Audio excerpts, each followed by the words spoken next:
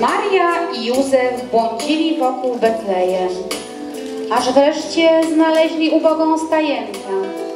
Nie była pałacem ani miejscem godnym Syna Bożego, ale była przytulna i ciepła.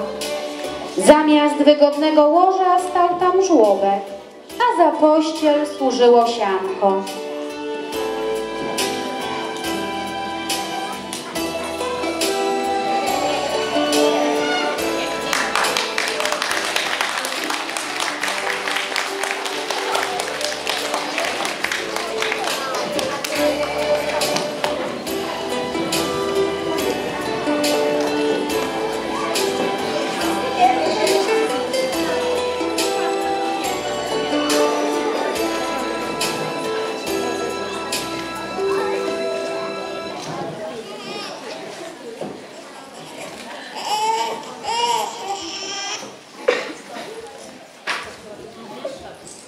Piesku, pilnuj owieczek, bo wiesz, że wilki grasują i kombinują.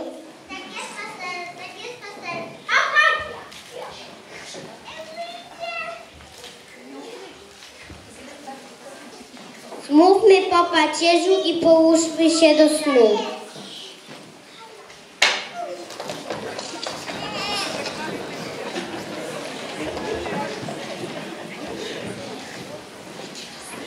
Ludzie pogrążyli się we śnie.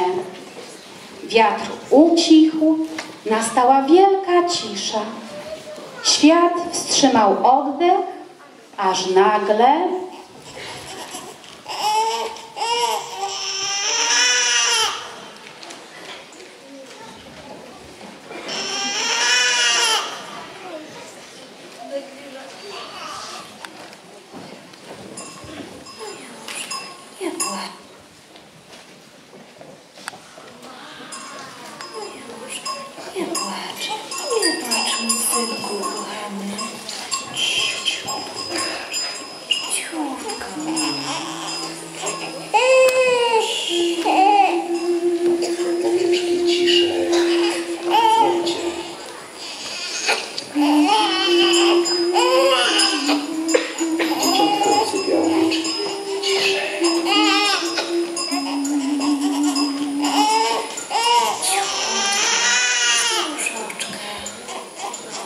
Yes.